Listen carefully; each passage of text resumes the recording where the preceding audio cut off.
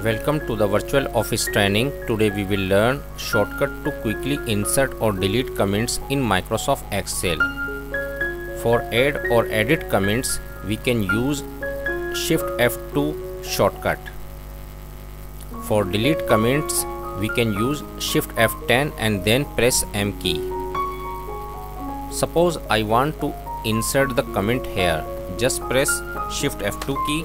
It will display the comment box and type the comments. I just type here good job.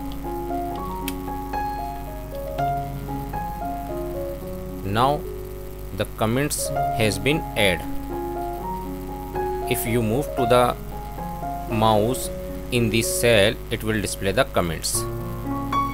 I want to edit this comment just press again shift F2 key.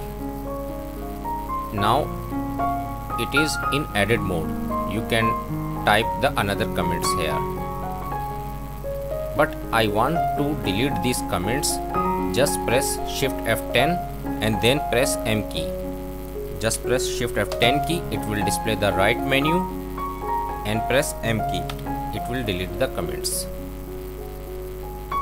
that's why you can insert or delete comments in Microsoft Excel quickly.